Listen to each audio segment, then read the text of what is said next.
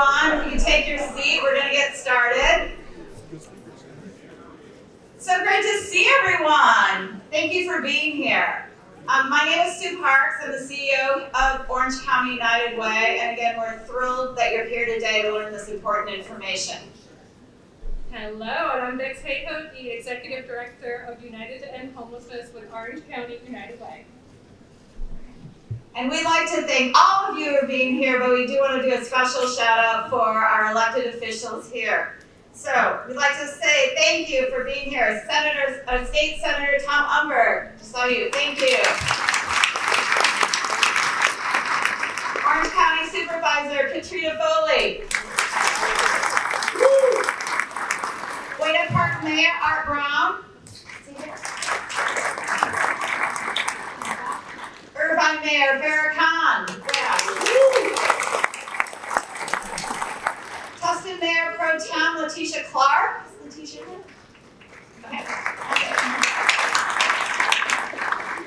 Newport Beach Council members Robyn Grant and Lauren Kleiman.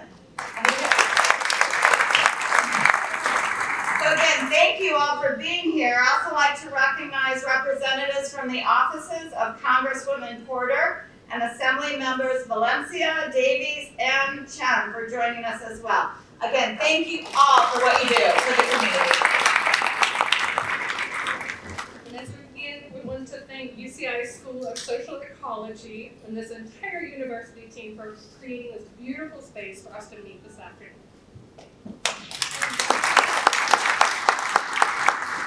Just keep applauding. We have more. Um, so we um, now wanted to do a brief video from our chair of our council um, of United to End Homelessness. So please watch a message from Larry Armstrong.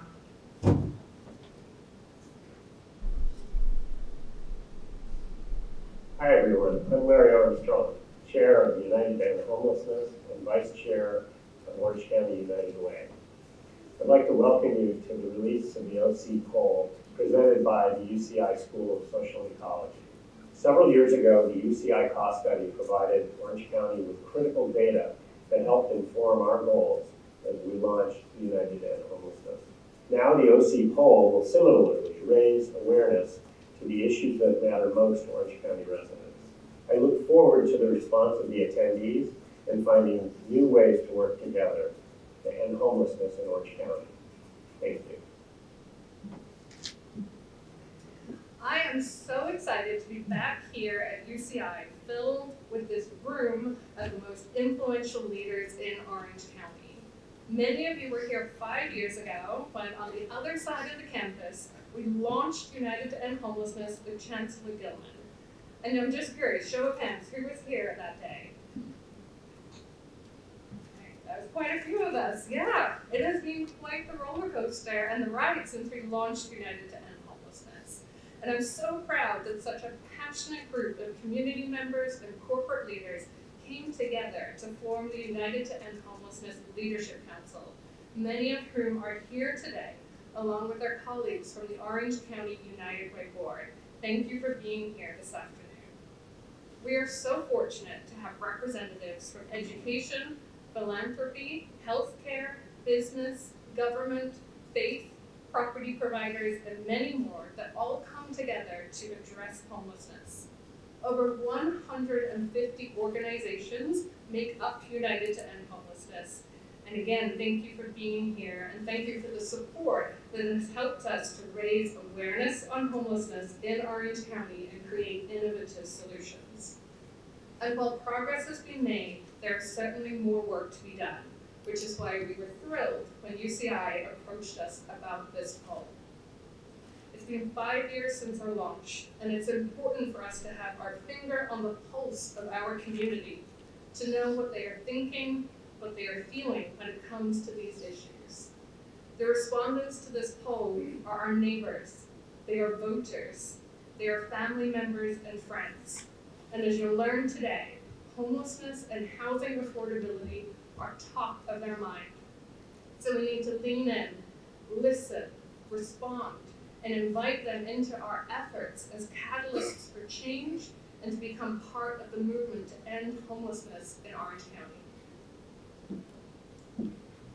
So as Bex mentioned, we launched United to End Homelessness here at UCI five years ago, and we are so thankful for their ongoing support and commitment. They've really just been an amazing partner. Some of you might remember that the basis of United to End Homelessness came from the cost studies. Everybody remember the cost study? And that was done out of the School of Social Sciences. I'm not sure, is Bill Maurer here today?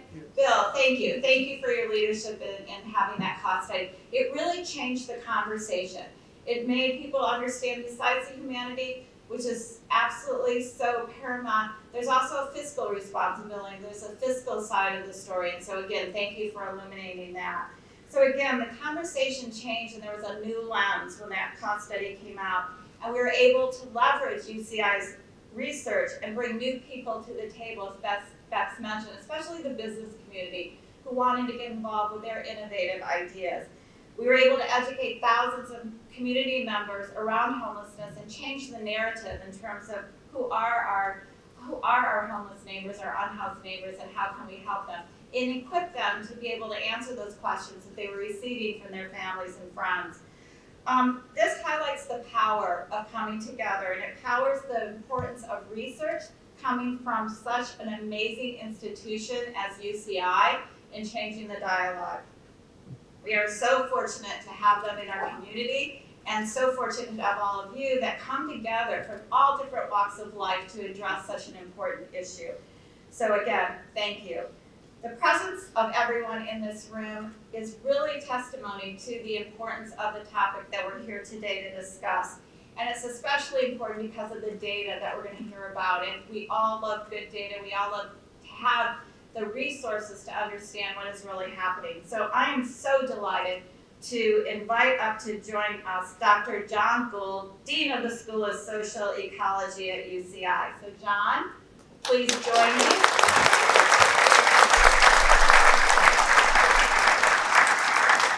And now I'm going to read just a bit of Jon's very impressive bio.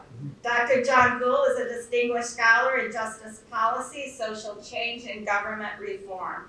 He has held key positions in the U.S. Department of Justice and the National Science Foundation. In 2022, Gould became the leader of the nation's only school of social ecology. Yes, that's a woo-hoo for life for the school of social ecology. The school was established in 1970 in response to high demand for more socially relevant research. His expertise covers justice policy, social change, and government reform.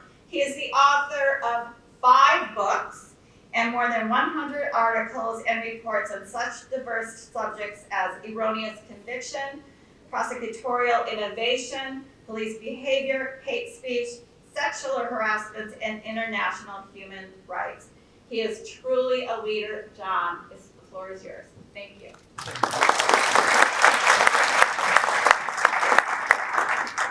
Thank you much. Thank you very much, Sue.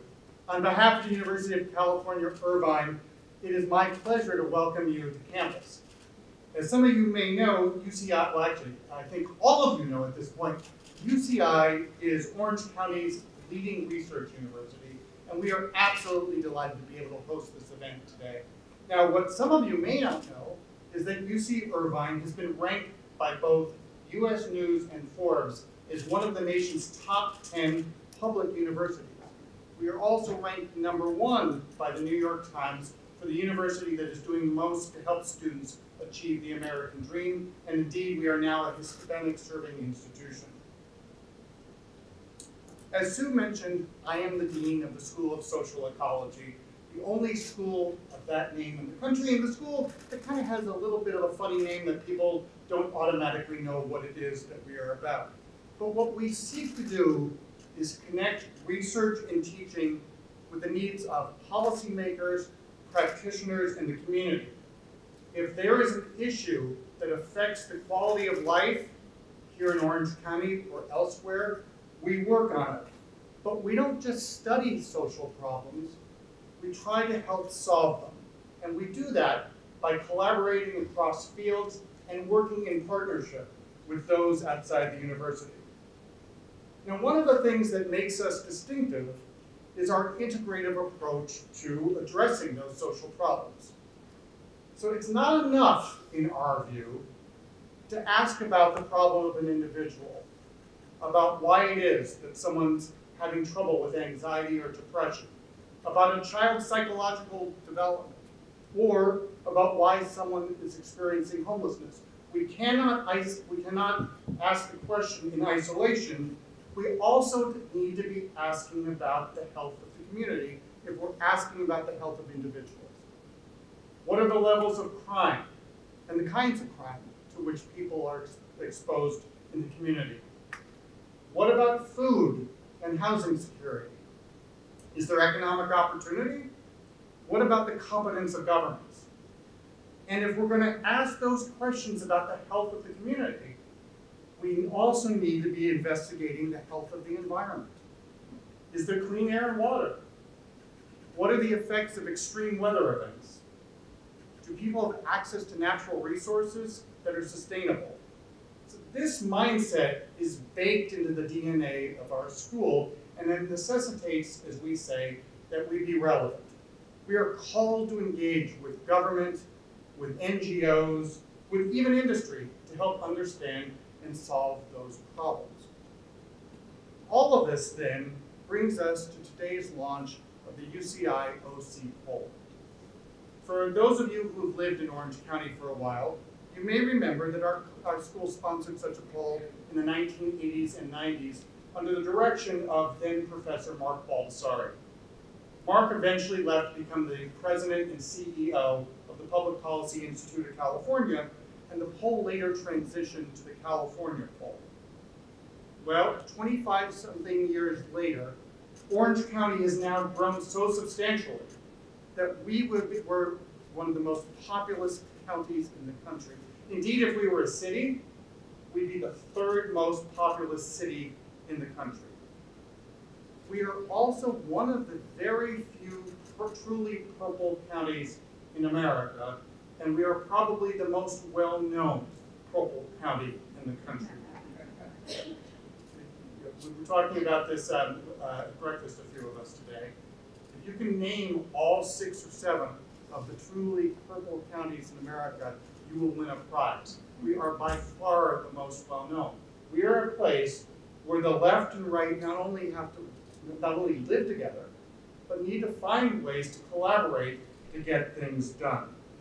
So as the county has grown, leaders need reliable methods to track and analyze residents' concerns, their views and their priorities on a variety of pressing issues, so that we don't have to rely on anecdotal understandings or the views of the few people who show up at city council meetings.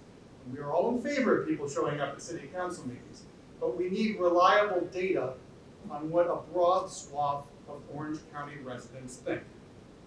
So today, the School of Social Ecology is stepping back into this sphere by relaunching the UCI OC poll.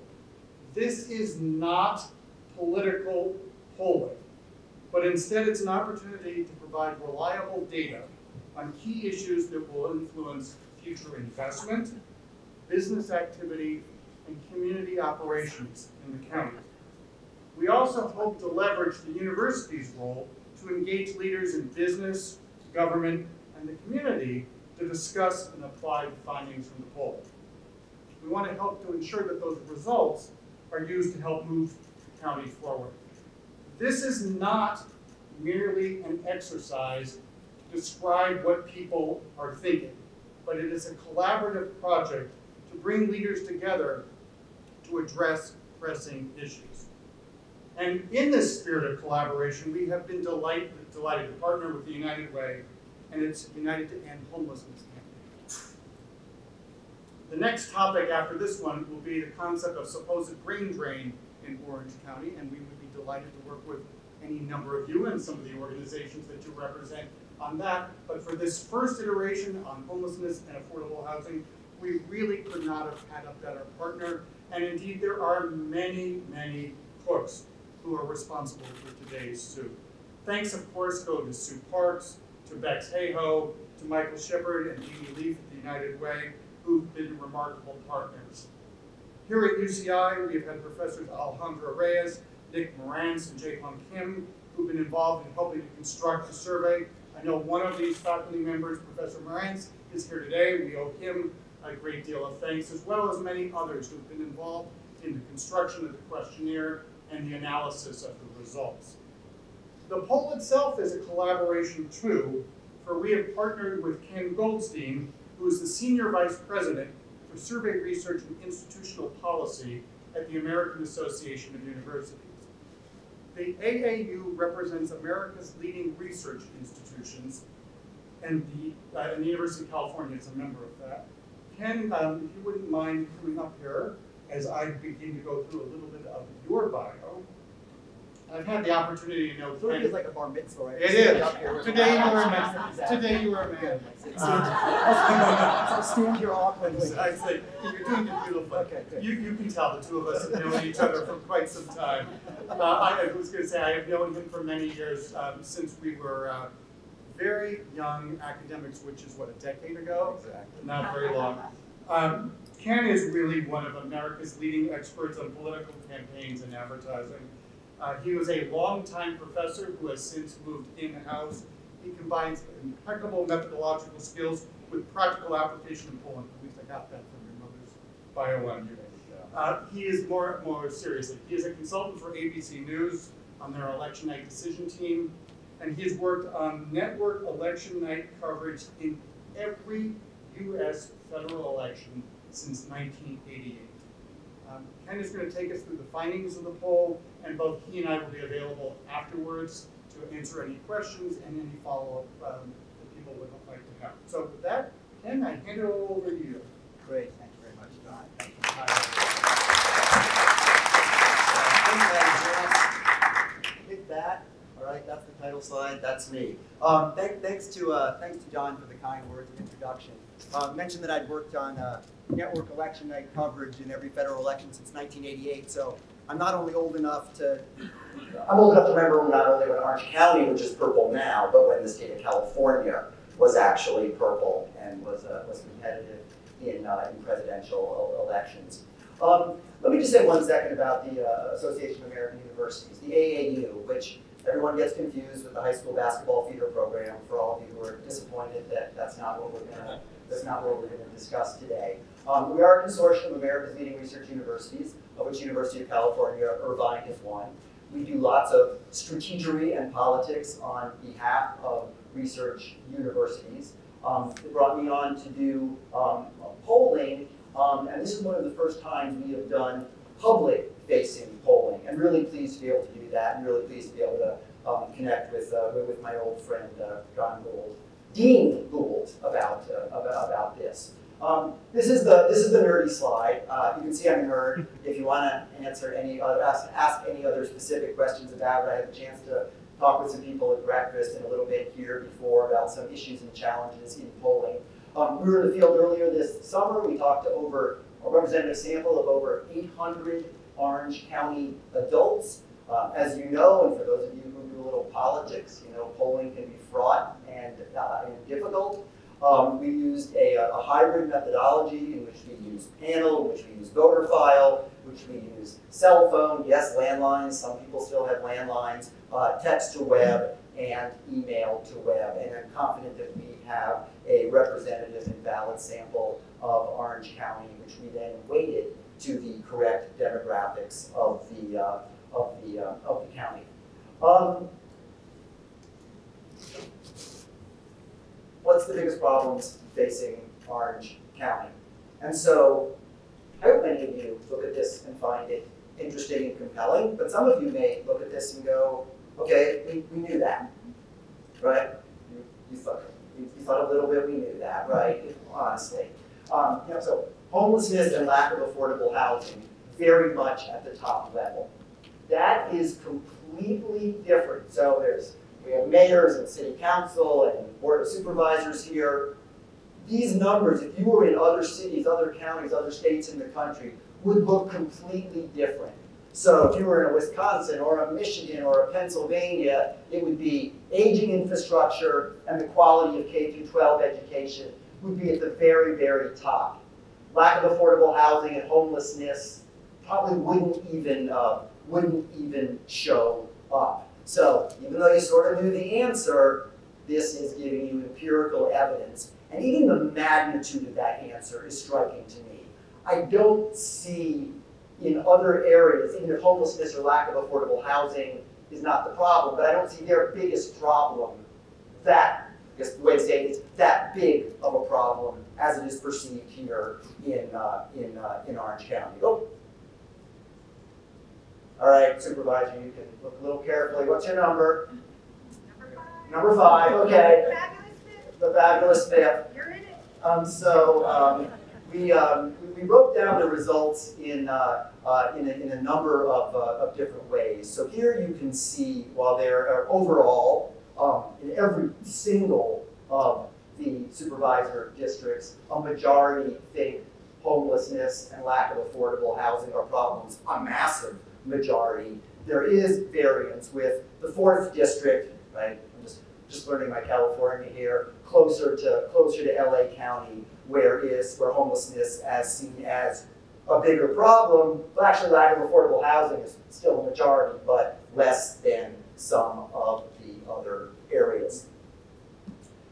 I was wanted to sort of think about how people were experiencing homelessness or how they're experiencing people who are experiencing homeless. And um, if you remember when we were designing the questionnaire, we sort of struggled over these two questions quite a, quite a bit. So the first one's actually pretty straightforward. So just like as you go about your day, how often do you see someone who is experiencing homeless? So 54% of people say every day they see someone who is experiencing homeless. Again, because you are here, you might go, yep, that is a stunning number to me as someone who is coming from outside of California, outside of, of Orange County. And if you add the everyday and the every few days, right, you're at nearly 8 out of 10 people are, are seeing that. The question we struggled with a little bit was the interaction, right? You know, what does that mean? Walking by and averting your eyes because someone's trying to talk to you, actually engaging, engaging with someone in, uh, in, uh, in, in, some sort of meaningful way. But it's sort of interesting and a little bit sad to me, I guess, where 54% of people are saying that they are seeing someone experiencing homeless every day. 15% are interacting in some way. That said, an interaction could be positive, an interaction could also sadly, um, sadly be, um, be negative. And then here you see significant variance in where people are uh, experiencing uh, people who are, uh, or seeing people who are experience homelessness, which in the fifth district, it's 34% every day. In the second district, it's 68% every day. I'm sure we have people from every district here. I don't know the specifics and the substance of the districts, but you know, talking uh, talking with Jon, he said this this, this made sense, some gut validity, uh, some gut validity to uh, to him. Um, you know, one thing that Jon said, and um, you know, I'm not going to repeat it, but he really gave, I might have to steal some of it, a really great rationale for why we do polling. So listen, I'm doing election polling for ABC News. I'm calling, I'm calling races. But the real value of polling is for elected leaders to get a little more signal on what people think. I'm sure you're hearing from seven or eight people who are on Twitter all the time, right? And so this is trying to give you some information about what everybody, um, what, uh, what, what, what everybody thinks. But it's also the case, um, and again, I keep pointing to my political colleague friends over here, like, you know, a pollster who just goes, oh my God, supervisor, we're in really bad shape here. Thanks, see ya. That's just annoying, right? What you want to hear, or, or mayor, we got all these problems, bye, I'm out of here. You also want to hear what some, what some solutions are.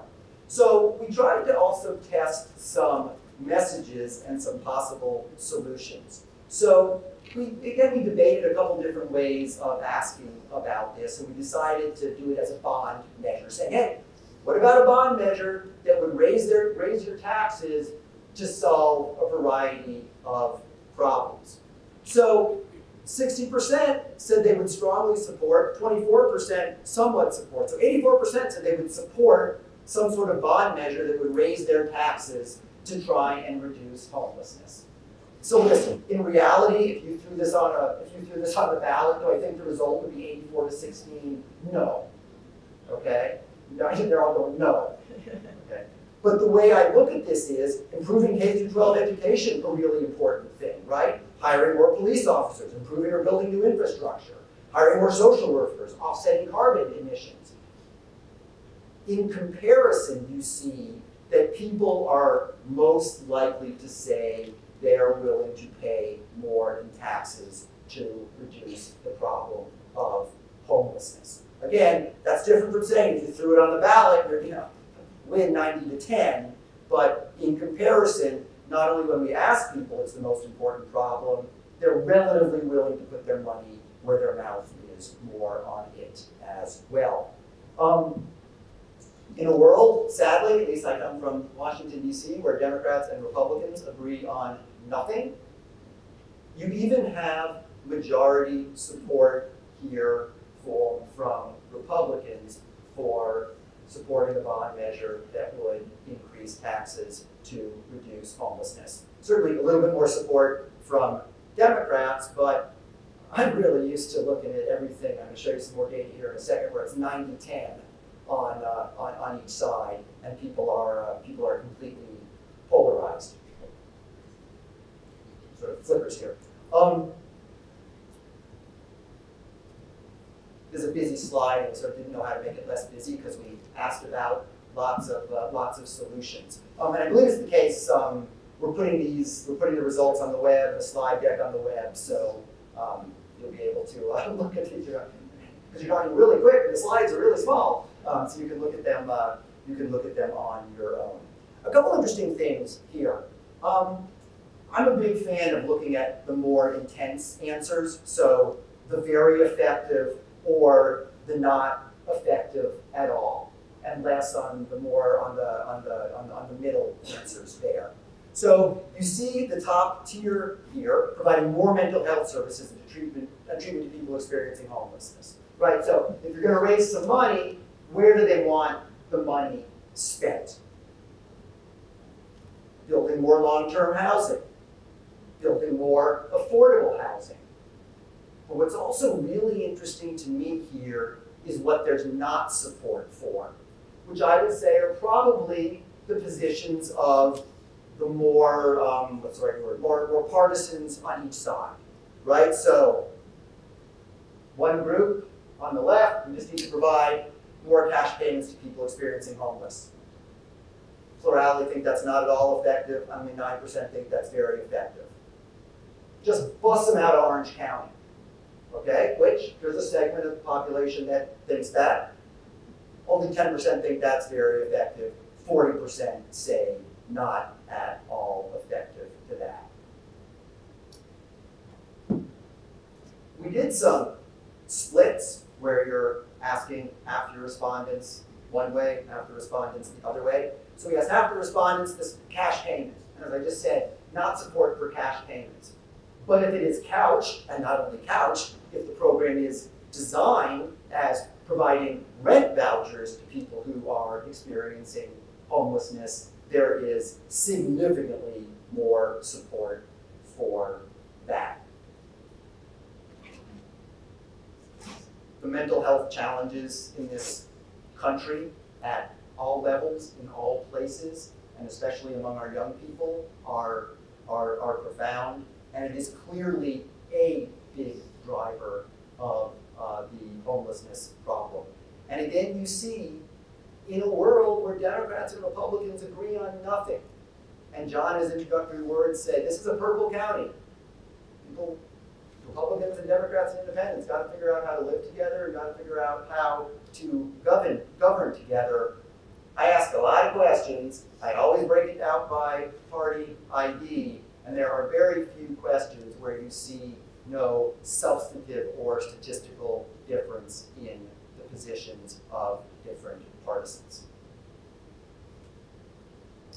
Another way we asked about it is because it's really easy for people to say there, you know, there are four various solutions, is, okay, here's that same set of solutions. Which one would you not want at all? And so that very effective is from the previous question, but then we ask the one opposed. And again, consistent with what we saw, there, the one that people really don't want to do is direct cash payments or bus them out, out of mind, right? Out of sight, out of mind. There is strong opposition to both of those.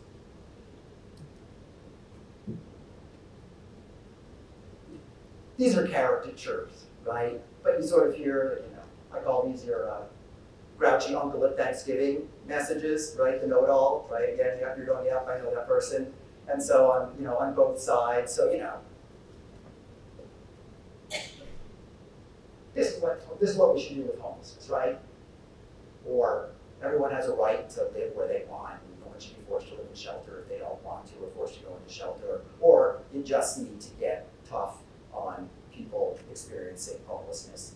Here, you do see a bit of a partisan breakdown, with Republicans wanting to get more tough, and Democrats, but by less of a margin, right? So Republicans overwhelmingly want to get tough. Democrats, only by 10 percentage points, are privileging what we could call a civil liberties message. So, are causes of homelessness? Now, this is the real grumpy uncle at Thanksgiving question. Whose fault is it, right? And here you do see some partisan differences. And in some ways, you look at it like, oh my God, 60, 60 20 on one side and 60 20 on the other. I'm sadly coming from a world where everything I look at is like 90 10 in terms of polarization. So this is polarized. There's no doubt that this is polarized, with Republicans much more likely to say it's because of bad decisions that people have made, and Democrats much more likely to say it's because of factors out of an individual's out of an individual's control. Um, and independents pretty mixed there in the middle. All right, who's responsible for it? As we all look over to table six. um, uh, where's the city council person? Okay, oh, there you go, okay. Um, so, city council, board of supervisors, um, people are saying, hey, government, we think this is a problem and we want you to solve it. And again, that might seem a little bit captain obvious, but occasionally, you know, I'll do polling when some people will say it's a problem, but we don't think government can solve that, or it's a problem and we don't want government involved. But people want you involved, but they also want you, respects, and you involved, right? You know, nonprofits and charities and other people in the community. And the way I look at this is this is sort of an all hands on deck sort of response. So this is the again, sort of embarrassing finding. Again, even some of our friends might be like this. Yes, it's a huge problem. Yes, it's very, very sad. Now, do I want them actually living in my neighborhood? Not so much. Okay?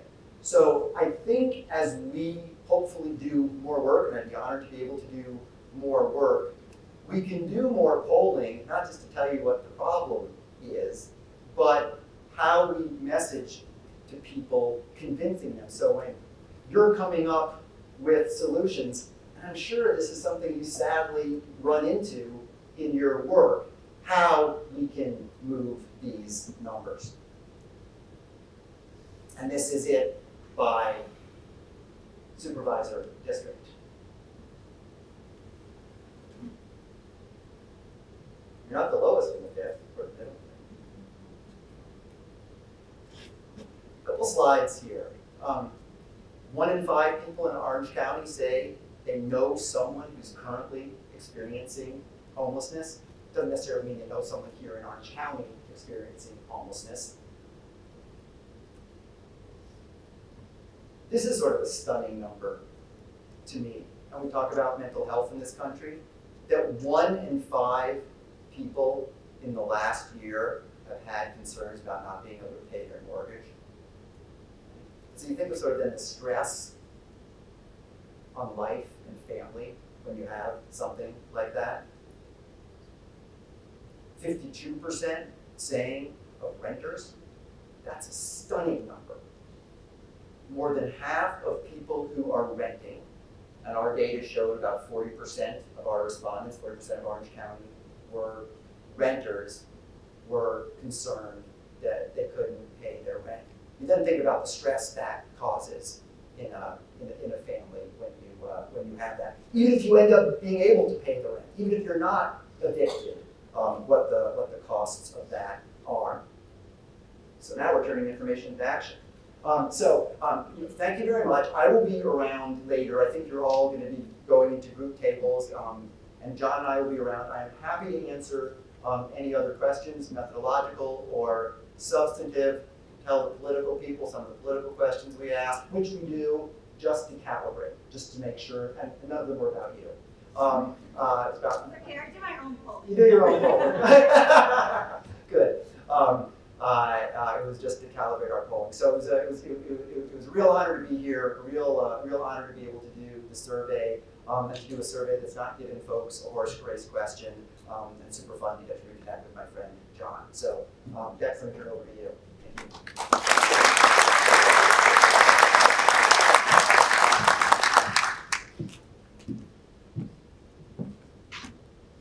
How we doing? That was a lot of incredible information. Thank you so much for that vibrant presentation of the data. So when we launched five years ago, homelessness was top of mind because of its visibility. People were seeing it. But now it appears that there's been a change in our community's consciousness. What struck me from the data was how close to home the issue of homelessness is for the majority of respondents with 55% of people knowing someone that currently is experiencing homelessness or has experienced homelessness in the past. 55% of people personally know somebody who has been without a home. And over half of our renters saying that they were worried about how they were going to pay their rent and concerned that they could be evicted and ending up on the streets here in Orange County.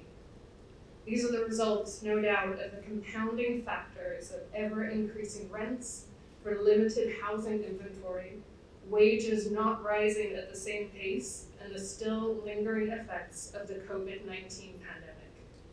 People are hungry for results and they are eager for solutions. So we know that there has been enormous amount of effort and dedication have, that have been poured into addressing homelessness.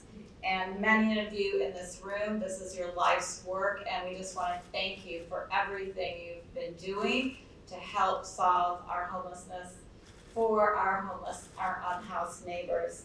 Um, we just want to say for all of you who are service providers and all that, a round of applause for everything you do.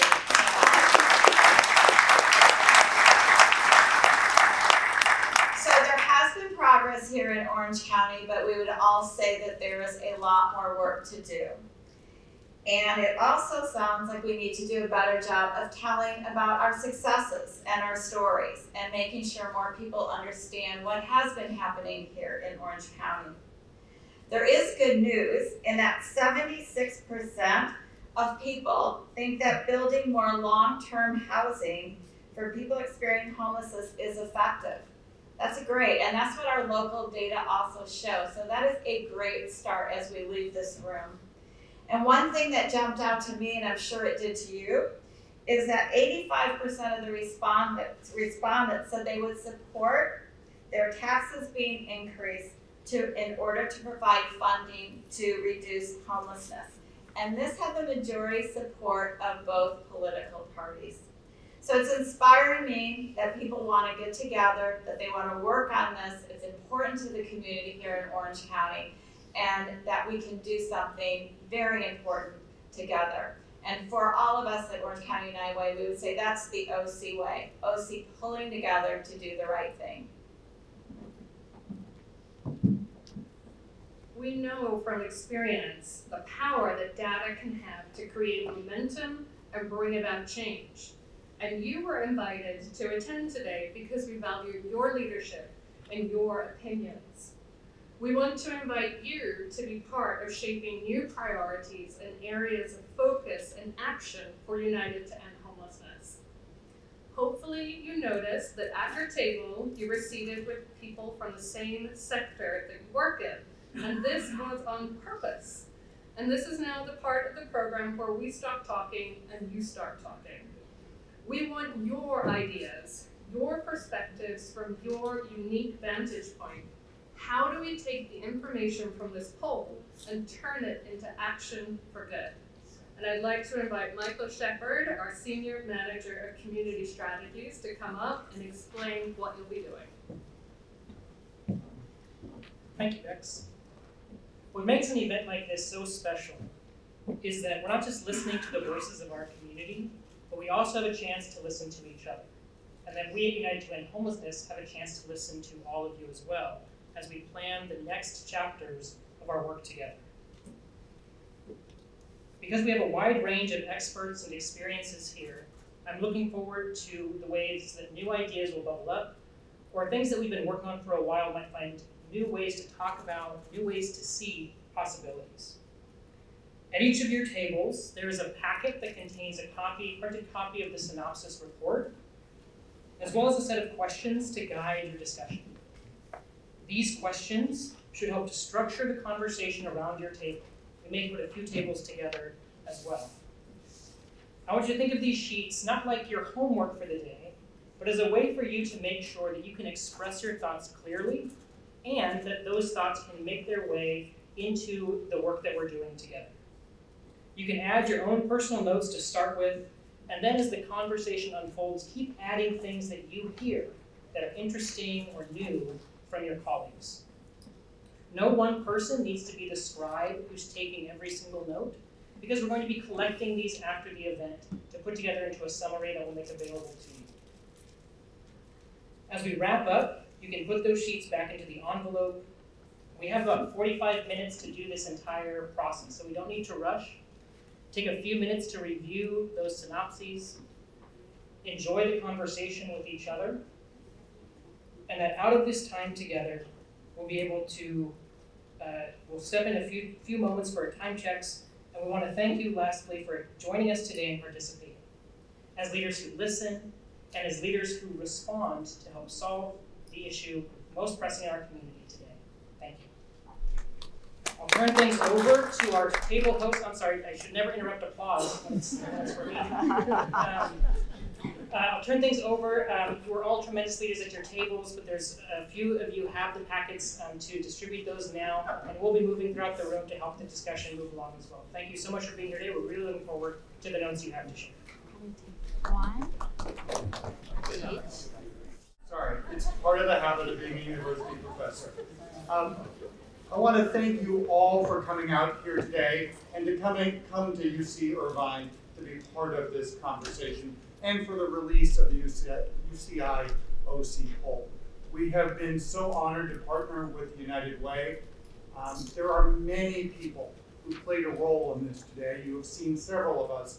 But I'd like to take a moment, I hope you will join me in just a moment in a round of applause for the many people who worked very hard to bring off this event today. Our media teams, our uh, event teams, there are many people whose names would go on that I think the two of us would like to thank. So I hope you will please join us in a round of applause.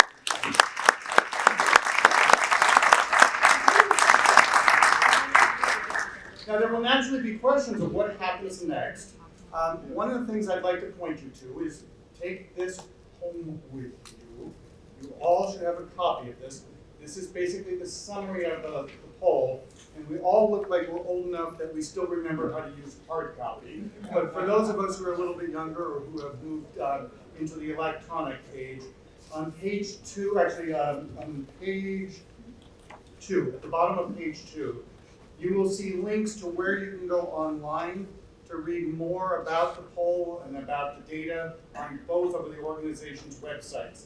If you have detailed questions about how the poll was done, about particular data, if the word crosstab means something to you and you'd like to see how some of this was broken up, or broken down, look there or please email me, contact any of us. One of the things I'd like to leave you with is, it actually came up at our table. So the question was, does any of this surprise you in the data? And some people said yes, some people said no, but the one thing that I heard that, of course, is something we all know about and is, from my perspective, always a cause for concern. We tend to rely more often on anecdotal evidence. We talked to so-and-so, they said this. Or ten people showed up for the city council meeting last week, and they all had this opinion. That's not necessarily representative of what our neighbors and fellow residents of Orange County think.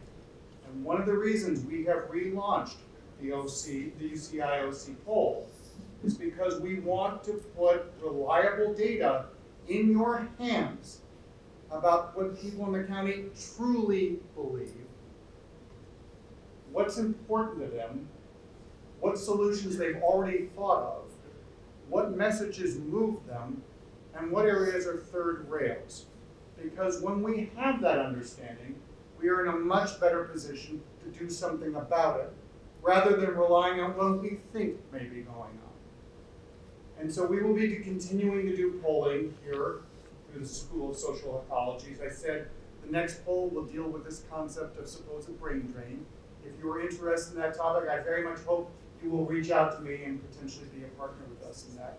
But for today, our biggest thanks is to our partner in this first poll, the United Way, and I turn it back to Betsy to take us home.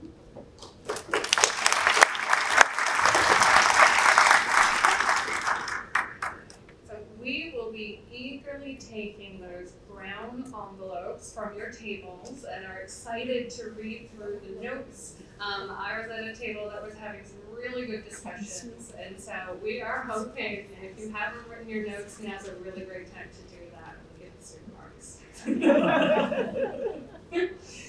so we are just I'm, I can't wait to gather your insight as we help shape some priorities and some work for United to End. If you think that a friend would love to hear this information, not only can you send them the link to find that online, on August 24th at noon, we are doing a community chat. Jon is going to be one of our guests on that community chat talking about this poll, as well as Tommy Newman from United Way LA, who's going to be discussing how LA has taken poll results and turned that into action. So that's going to be a 30 minute discussion to help generate some more ideas about what could be possible for us here in Orange County to do with this data. Another great opportunity for you to get involved is Hunger and Homelessness Awareness Week. Coming up in November, I know it's August, but November is going to be here before you know it. And if you're interested in using your voice to help spread awareness about homelessness, we want to help you do that. We'll provide you with everything that you need. If you want to chat to any of our team and get more information, they will be at that table. They're not there now, but I promise you they will be. The lovely Amy, who's in the back waving. Hi, Amy. She would love to help get you connected to Hunger and Homelessness Awareness Week. And so finally, just a thank you. I so appreciate that you took time out of your day to come, to be here, and to have these discussions and to generate these ideas. This is United to End Homelessness. It is all of us working together, and I look forward to continuing to do that after today. Thank you, everyone.